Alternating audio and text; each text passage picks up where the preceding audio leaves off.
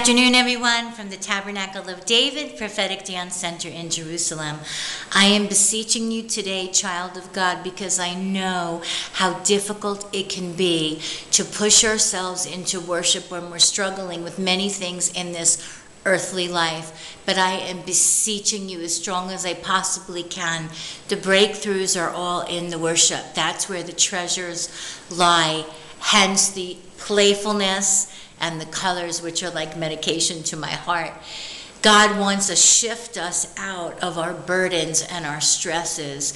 And Yeshua said, Do not be anxious. He said, Don't worry about today. Don't worry about tomorrow. Today has enough cares of its own. But I love how it says in Philippians be anxious for nothing, but with everything, with prayer and supplication, present your request to God.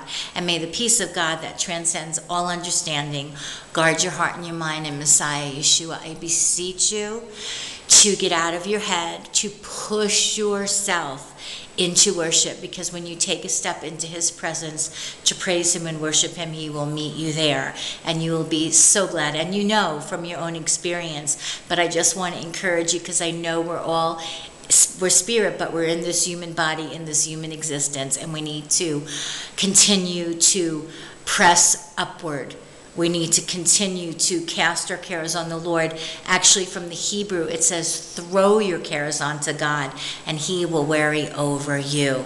Let's press into worship today. Let's give Him all that we have good, bad, upside down, everything. Give Him all that is going on inside of you, and He will, you'll empty yourself, and then He will fill you up with everything that you need. God bless you from the city of rejoicing, Yerushalayim.